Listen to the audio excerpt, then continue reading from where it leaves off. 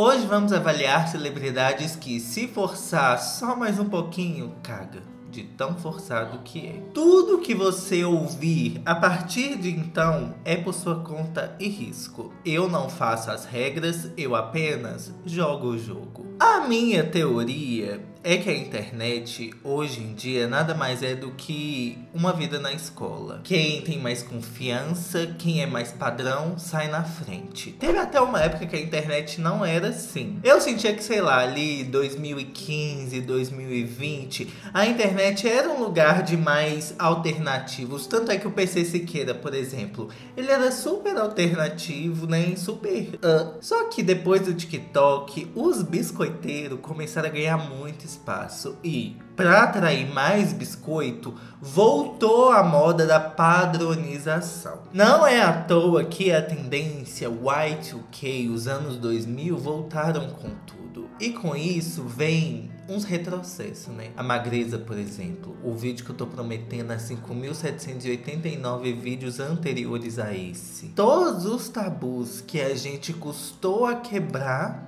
estão é? sendo remendados tudo com ácido hialurônico. Eu, inclusive, trouxe meu malhete que eu tive que pesquisar aqui, que é aquele martelinho do juiz, porque eu te dou as boas-vindas ao Tribunal Moreru. Vamos avaliar o caso dessa celebridade.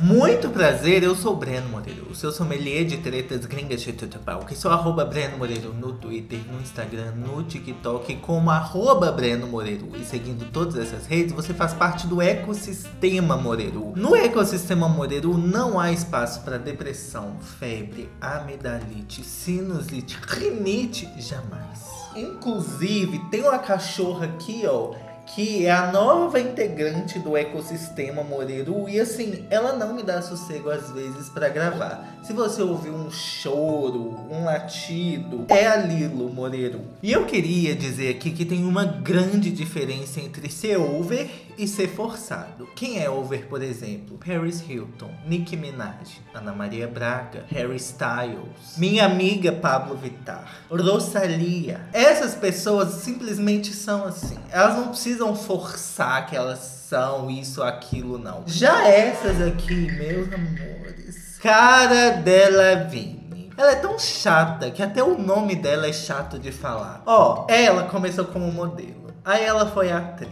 A última notícia que eu tive dela é que ela foi lá na premiação e ficou fazendo graça com a Megan Thee Stallion. Levantando o vestido dela, fazendo graça que amou conhecer a Doja. A cara de Lavigne é simplesmente rica. E rico tem licença para ser medíocre. Não acho nem que ela é tão medíocre assim, porque algumas coisas ela nem chega ao mediano. Medíocre no sentido de mediano, tá? Por exemplo, como modelo, mediana. Como atriz, Cara Jocelyn Delevingne nasceu em Londres, Inglaterra, filha de Pandora Ann Stevens e Charles Hamar Delevingne, um promotor imobiliário. Seus pais são ambos de famílias proeminentes de classe alta, com seus ancestrais, incluindo os viscondes Greenwood, baronetes Hilton Fodder Phillips, Majors e Lord Mayors de Londres. Ou seja, a gata é montada no dinheiro velho de libra esterlina. E aí, gente, ela é bem relacionada. É por isso que ela tá inserida ali no meio das celebridades. Não é porque ela é talentosa, não é porque ela é legal, é simplesmente porque ela é medíocre e rica. E branca, né? Esse direito é garantido por berço. Então, a próxima vez que você ouvir alguém falar de meritocracia, pode dar o exemplo da cara de Lavigne, viu? Aliás, manda esse canal aqui, que eu quero essa pessoa ouvindo essa mensagem. Não existe igualdade no mundo onde se tem Cara Delevingne famosa, tá bom? Como ela é muito rica, não é dívida de jogo nem lavagem de dinheiro. Ou pode ser, né? Eu acho que é lavagem de dinheiro, porque, gente, não tem como. Ah, eu tenho que explicar as categorias, né? A primeira categoria é a mais leve. PWXJOO, simplesmente para esse barulho. Sabe quando você força e sai um... É isso. É uma pessoa que não é... Que é forçada mas assim, não é tão forçada. A segunda categoria é cheque sem fundo. Você vê assim que a pessoa nossa, e passa um chequinho leve assim, ó, só uma borradinha. A diferença pro e pro cheque sem fundo é que tem sólido envolvido. Na hora que força. O cheque com fundo, aí já é uma coisa mais com mais substância, né? Mediano. 15 quilos mais leve, nossa, essa pessoa é tão tão forçada que se fizer isso aqui, aí minha filha, 15 quilos mais leve. O dívida de jogo e lavagem de dinheiro é o estado mais crítico. Ela vai soltar 15 quilos de fazer o mínimo do esforço e ela continua cheia. De merda. A segunda que eu quero falar é Edson Reis. Como eu desgosto da Edson Ray. Assim, vamos começar que ela faz parte da leva de TikToker biscoiteira. Nossa, a Edson Ray não tem conteúdo nenhum. O conteúdo dela é simplesmente.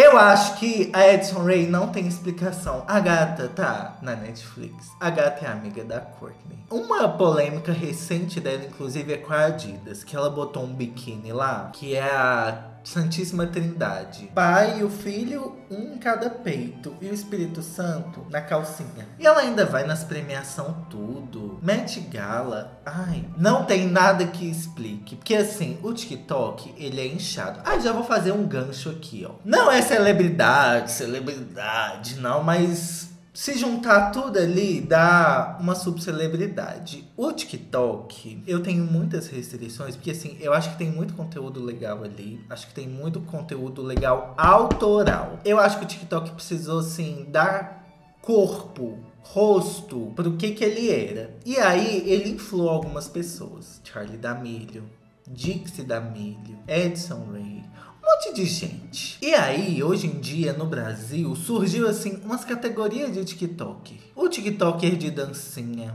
o TikToker de moda. Meus amores, para. Simplesmente para. Porque ali não tem conteúdo nenhum.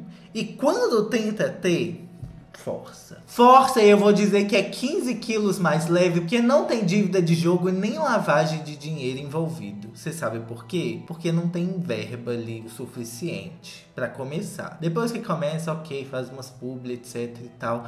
Mas assim, é uns negócios se você faz um conteúdo de 3 segundos, eu nem preciso explicar, né? 3 segundos não cabe um conteúdo, é simplesmente um biscoito. Biscoito não é conteúdo. Eu não sei se eu tenho mais restrição ainda com os de dancinha ou com os TikTokers de moda. Que ali tá pau a pau, ó, o nível de forçação. Já que eu falei de Edson Ray, eu queria falar da Courtney. Courtney Kardashian, nosso cristal sem glúten, gente, ela força. Ela força porque no final da temporada do Keeping Up, ela falou assim, gente, eu não quero aparecer. Não quero mostrar da minha vida. Eu preciso step back, voltar um pouco, retroceder um pouco, tomar um pouco de distância. Eu quero mostrar mais da minha vida pessoal. Beleza, concordo, tá? Tem um fundo de verdade ali. Ela fala que ela trabalha muito, que ela quer ter tempo para ser mãe. Tudo bem tem todo o direito de fazer isso. Aí chega no The Kardashians e ela não mostra simplesmente, absolutamente, quase nada de trabalho. Ela vai mostrar do trabalho dela com a collab com a Gwyneth Paltrow. Aí eu devia ter colocado ela aqui, né? Aí ela começou a falar disso no sétimo episódio.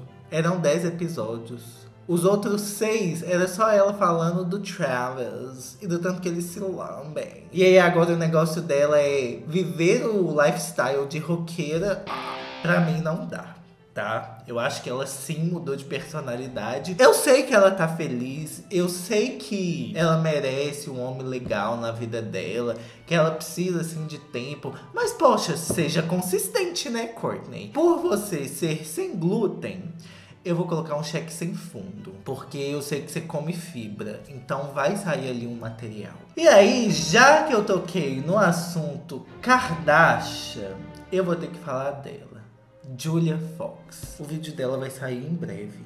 Quando eu digo em breve, é breve mesmo. Gente, eu morro de preguiça da Julia Fox. O vídeo dela vai ser por que, que a Julia Fox é famosa é um erro. Porque não tem nada que justifique. Eu acho que é dívida de jogo ou lavagem de dinheiro. Porque ela mesma falou, I've dated billionaires my whole life.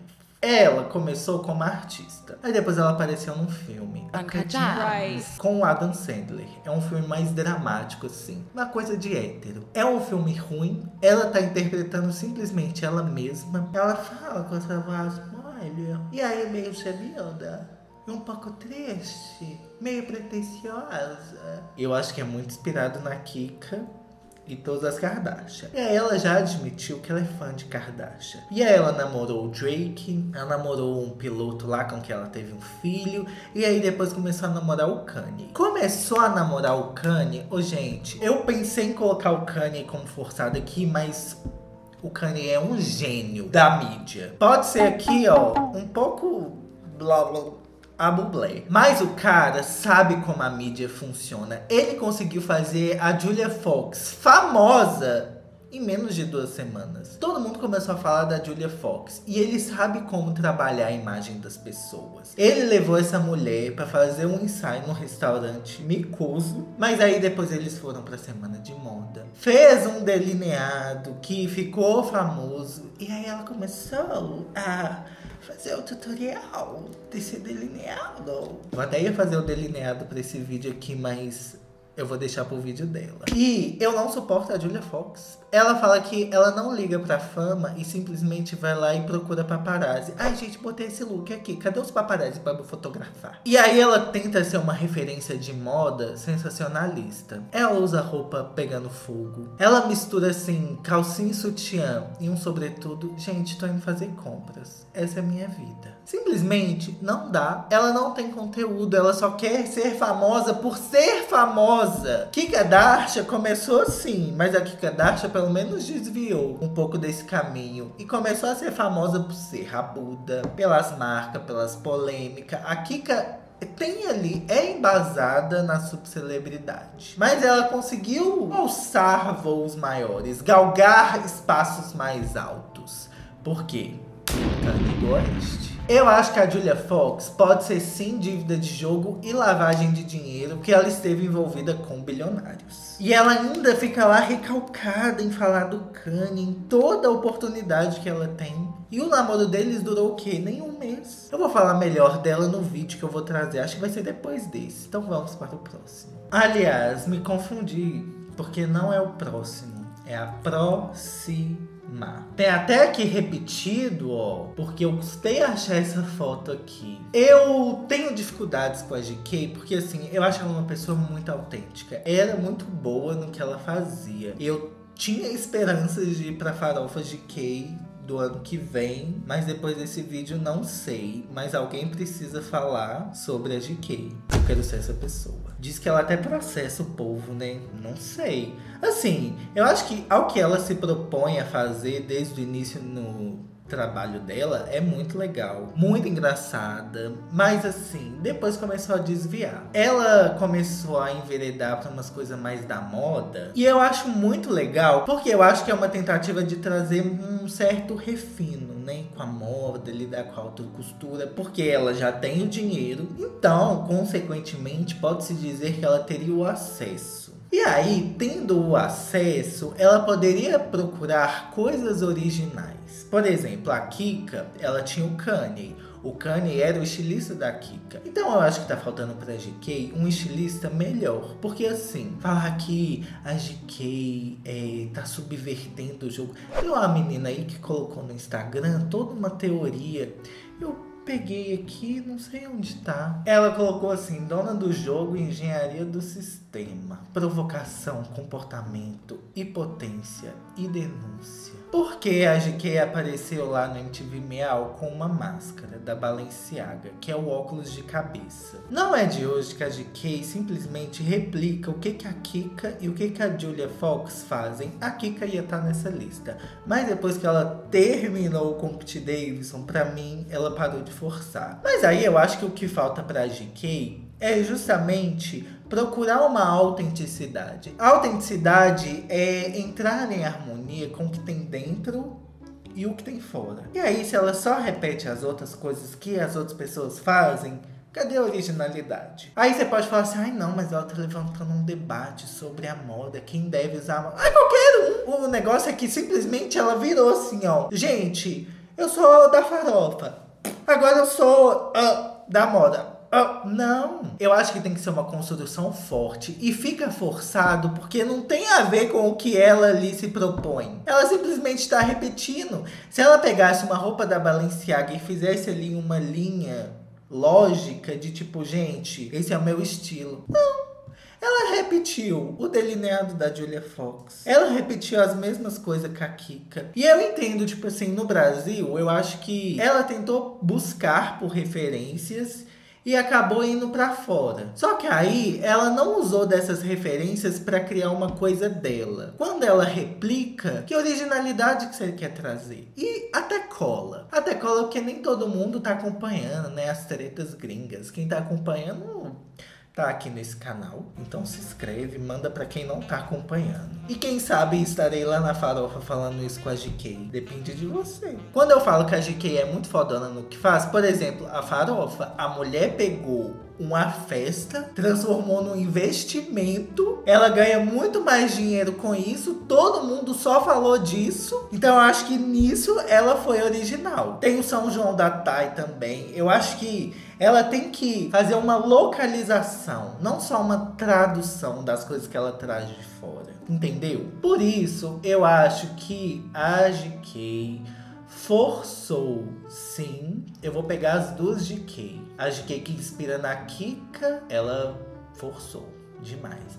A GK que se inspira na Julia Fox, lavagem de dinheiro. Não, não dá, gente. Se inspirar em Julia Fox. Já que a gente falou de GK, quando ela apareceu lá na festa da Ukchela, né? A festa da Rafa Uckman, com o Pedro Sampaio, ele de Kanye e ela de Kika Darsha, a la Met Gala. Protesto meritíssimo! Não! O Pedro Sampaio, ele é um que copiou descaradamente o Lil Nas X, se aproveitando dos conceitos de um homossexual afro-americano. Você, Pedro Sampaio, um homem hétero, lido como branco no Brasil? Pedro, ah, o Lil Nas X lançou o Call Me By Your Name. Aí o Pedro Sampaio, me chama pelo seu nome. Até a divulgação das músicas foi a mesma, o videozinho. Pedro Sampaio, para! Não, ó! Aqui não! Aqui no ecossistema a gente não vai deixar! Ó, e outra, você, Pedro Sampaio, você também é biscoiteiro. É sempre essas fotos assim.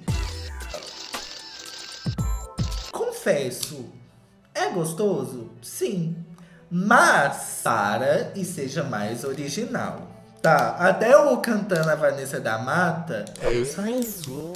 Não tem mais jeito. Que quer? É demais. Foi original. Agora, você querer ser o Kanye West do Brasil? Você copiar o Lil Nas X? Pedro, Pedro, eu acho que você forçou 15 quilos, viu? Forçou um pouquinho ali, é 15 quilos mais leve. Eu preciso falar do Charlie Puth.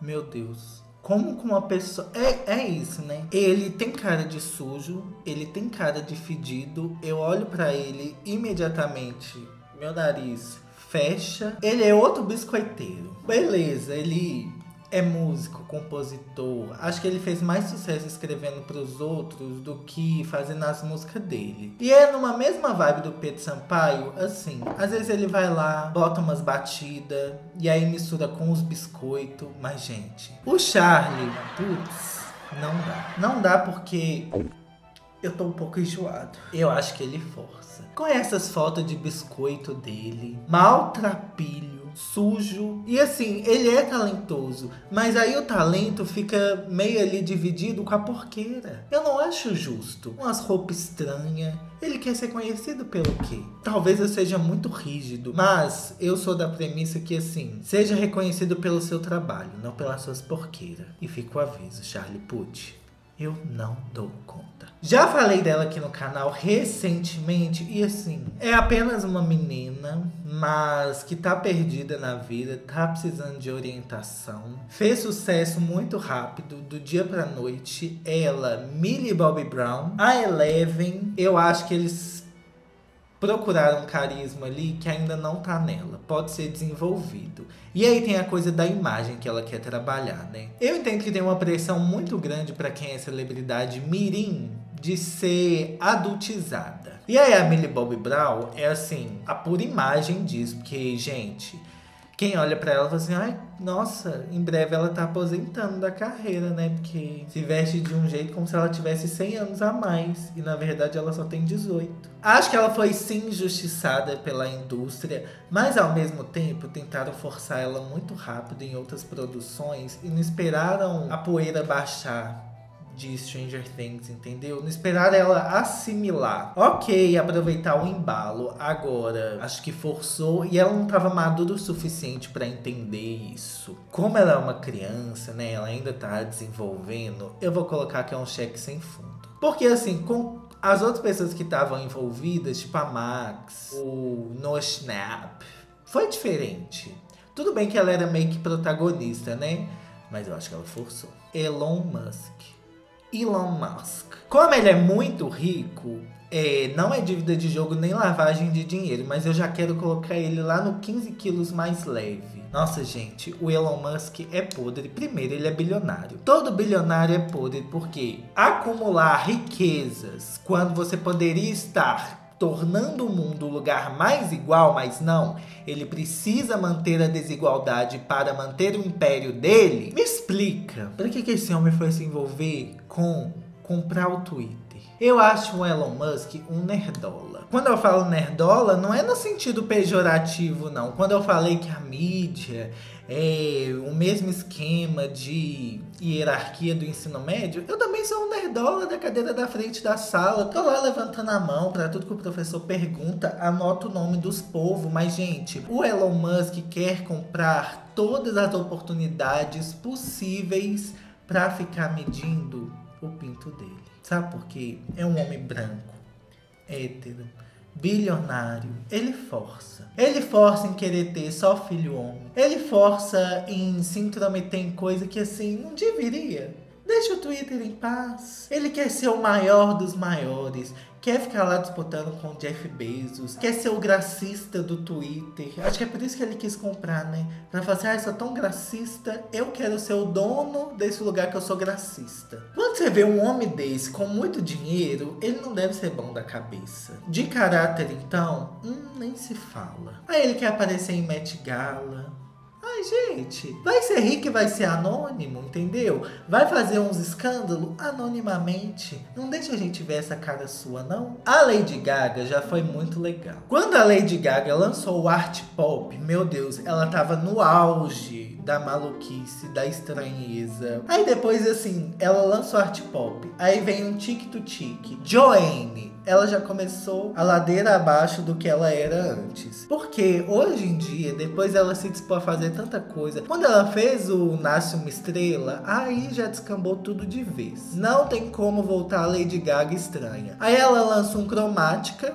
O Cromática é bom. Mas ver a Lady Gaga fazendo as coisas do Cromática é uma caricatura de si mesma de si mesma da época de antes, da época que ela era estranha, a mamãe monstra. Se hoje ela ficar lançando aqueles perfumes que ela lançava, a House of Gaga, as roupas estranhas, o vestido de carne, hoje em dia não cola mais. Porque ela já fez tanta coisa padrão, ela quer ser a alternativa padrão, mas ela só ficou com a parte padrão. Ela não é mais alternativa, ah, louquinha não. Quando eu vejo as apresentações dela do Cromática, ela querer ser estranha de novo, para mulher.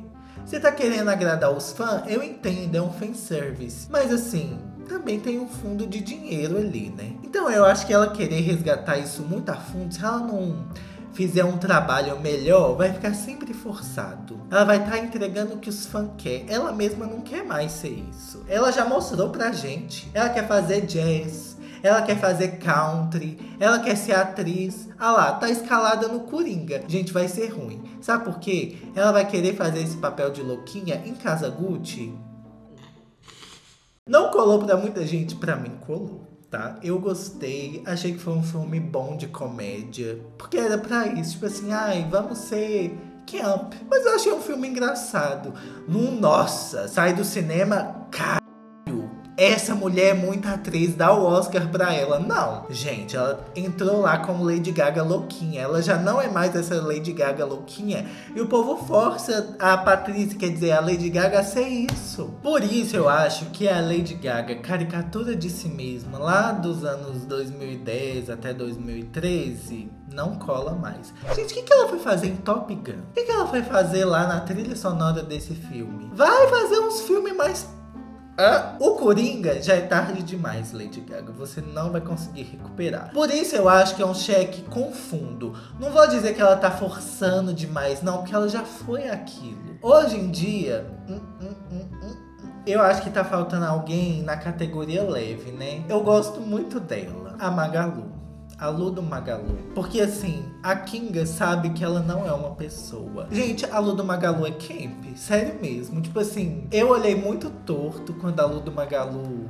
começou. E hoje em dia, gente, a Luda Magalu foi visionária. Colocou todos os influencers digitais, digitais no chinelo. Por exemplo, a Lil Miquela é lavagem de dinheiro. Que assim, quando você olha pra Magalu, você fala, nossa, forçou. Mas tem ali um tom cômico. Ela sabe que ela nasceu para debochar. Entendeu? E a gata sabe entregar, né? A gata entrega dinheiro. A Lil Miquela, gente. Primeiro, a Lil Miquela tentaram forçar uma globalização. Ah, ela é um pouco brasileira, ela é um pouco daquilo, ela é um pouco daquilo, ela aparece em todos os lugares. Ai, she's so crazy, I love her. Não. Eu olho pra Lil Miquela, meu estômago embrulha. Primeiro, ela lembra um pouco a Sensal, né? Só aí já é meio caminho andado pro meu desgosto. Outra que força, mas é pouco, a Manu Gavassi. Eu acho ela muito talentosa, mas eu acho ela muito roteirizada, muito rígida. Tipo assim, amiga, a gente sabe que você entrega. Não precisa.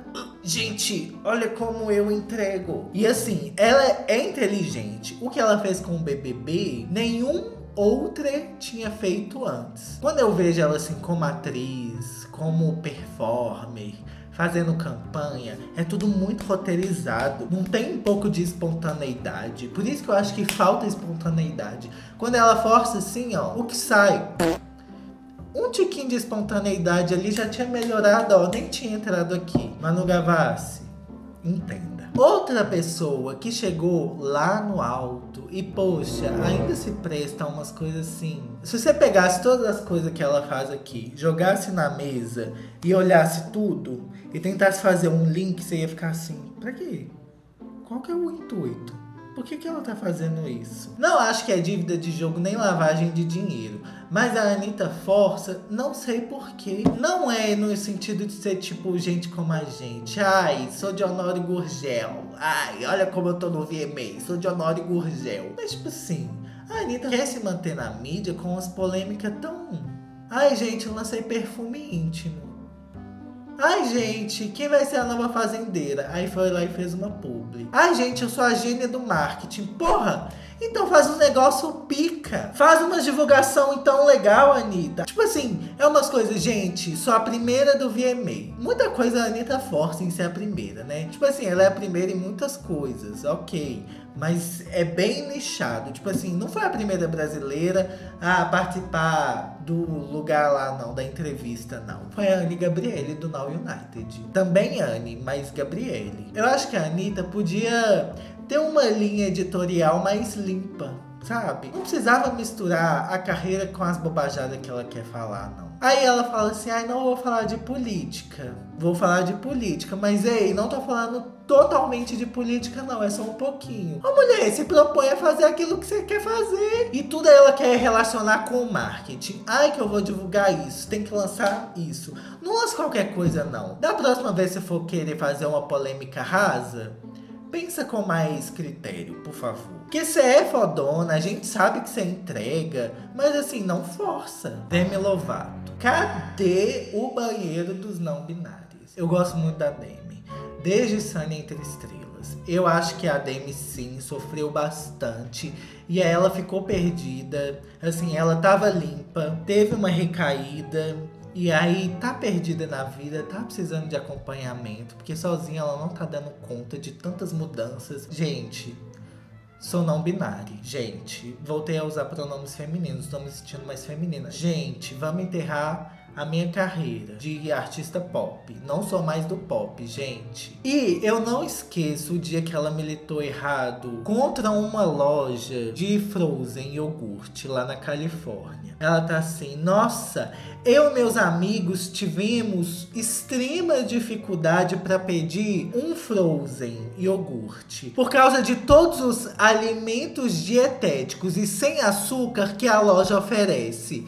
Ei, vamos parar com a ditadura da magreza? E aí a loja falou assim: não, Demi, a gente faz toda essa variedade no cardápio porque a gente tá preocupado com os diabéticos, os veganos, pessoas com doença celíaca. Aí depois que a loja se retratou, ela ainda disse assim: ai, mas vocês podem fazer melhor. Encontrar uma maneira de proporcionar um ambiente convidativo para todas as pessoas com diferentes necessidades, incluindo distúrbios alimentares. Eu vou me compadecer pela Demi, porque assim, na época que eu era vegano, eu era um militante radical. Tipo assim, meu Deus, Todo mundo tem que ser vegano. É muito bom. Quando você passa por processos de autoconhecimento que te fazem melhor, né? Você consegue se haver melhor com as questões ali internas que você sempre batalhou durante toda a vida, querendo ou não, você fica, meu Deus, eu quero que todo mundo seja assim. Mas nem todo mundo tá no seu processo. As pessoas estão vivendo outras coisas nas vidas delas. Não adianta você querer estabelecer que todo mundo tem que fazer aquilo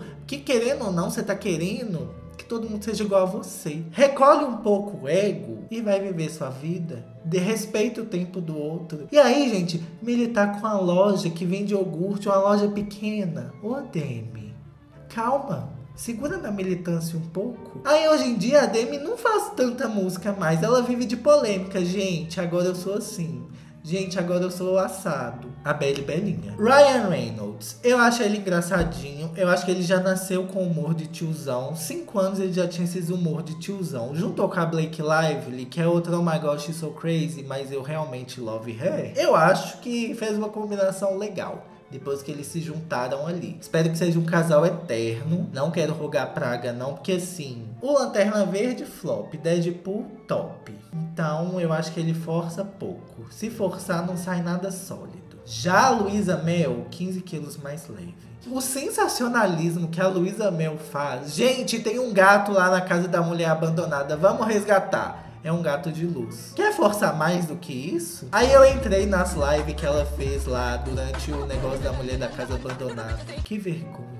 Um trem mal ajambrado, tentar ensaiar. Ela nem sabia do que ela tava falando. O povo só tava falando assim: agora fala isso, agora fala isso. Diga Sou protetora dos animais. Ah, pelo amor de Deus. Caio Castro. O povo adora colocar um padrão no pedestal. Aí ele fala qualquer coisa. Meu Deus, você viu o que o Caio Castro fez? Gente, ele não é bonito. Tá? Ele só tá no padrão estabelecido de beleza. Ele não entrega nada demais. E o povo fica, meu Deus, o Caio Castro. Não, não tenho paciência. Outro que é assim, Liam Payne. O Liam Payne é dívida de jogo, porque ele entrou no One Direction, aí depois saiu do One Direction, tentou engatar uma carreira musical, não deu certo, quis falar que ele era o melhor, mais fodão, que carregava o One Direction nas costas. Numa entrevista com o Logan Paul, o Logan Paul, Liam Payne e Logan Paul, eu não quis falar disso aqui no canal para não poluir, que eu achei assim, de uma radioatividade extrema. Então não quis fazer um vídeo dedicado, mas eu precisava falar dele aqui. Outra coisa que é extrema e que não sei como se mantém, mas está lá, Machine Gun Kelly. Primeiro, ninguém ia conseguir, em sã consciência, ficar perto dele, porque ele tem cara de fedido. E aí, não sei como, ele fez um feitiço para ficar com a Megan Fox, um homem lento desse, que ai, ai, sou rapper. Brigou com Eminem. Ai, ai, agora eu sou do rock. E aí, hoje em dia, usa umas roupas assim, desconstruídas, para um homem hétero branco padrão, faz umas músicas. Foi no Lollapalooza? Eu nem quis ver. Nem quis ver. Eu só queria ter visto por causa da Megan Fox. Infelizmente não vi. Eu queria que pessoas fedidas como Machine Gun Kelly tivessem menos espaço na sociedade. Eu não poderia deixar de terminar esse vídeo sem falar dela. A Sem Sal. Gente, nessa última temporada de The Kardashians, acho que eu não falei isso assim num vídeo dedicado e nem sei se precisa também. Simplesmente todas as aparições dela. Ai, gente, sou muito preocupada com minha saúde. Olha eu saindo de uma câmara pressurizada com o notebook na mão. Gente, eu sou muito viciada na saúde. Olha eu tomando soro com a minha amiga Hailey Bieber. Gente, pode deixar, eu sei cortar pepino. E ainda ficou brava depois. Não dá mais! Eu quero saber outras pessoas forçadas que você acha que deviam estar nessa lista e não estão. Fico aguardando o seu comentário. Muito obrigado pela sua companhia e te espero no próximo vídeo, que agora eu vou me recuperar, né? Nossa, fazer esses vídeos, lidar com esses povos é demais pra mim. Um beijo, neném.